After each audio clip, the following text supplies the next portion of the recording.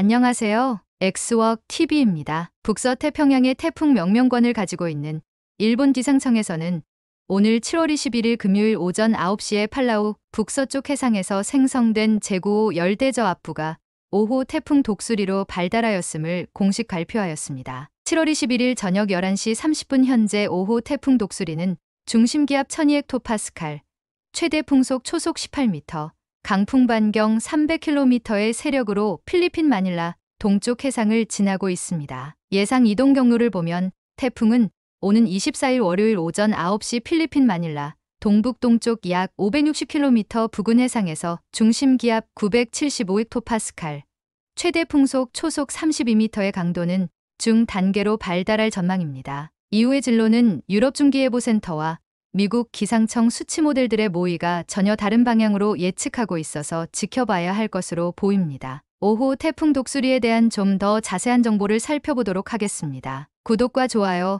알람 설정을 꼭 부탁드리겠습니다. 먼저 한국 기상청의 5호 태풍 독수리에 대한 예측을 살펴보면 5호 태풍 독수리는 필리핀의 수도인 마닐라 주변 해상에 머무르다가 대만 타이베이 부근 해상으로 진출할 것을 발표하였습니다. 일본 기상청의 7월 21일 저녁 9시 기준 발표를 살펴보면 한국 기상청과 대동소이합니다. 필리핀 마닐라 주변을 지나치다가 대만을 향한다는 예측을 하고 있습니다. 유럽중기예보센터의 예측 역시 26일에서 27일 사이에 필리핀을 지나치다가 대만을 관통한 후에 중국 겨장성에 상륙한다는 모의를 하고 있으며 미국 기상청은 5호 태풍 독수리는 26일 수요일 일본 오키나와 27일 목요일 중국 상하이 28일 금요일 중국 산둥반도에 상륙한다는 예측을 하고 있으며 29일 금요일에는 중국 가르만을 지나서 동북 삼성에 상륙할 것을 모의하고 있습니다. 문제는 미국 기상청 이외에도 캐나다 기상센터 CMC에서도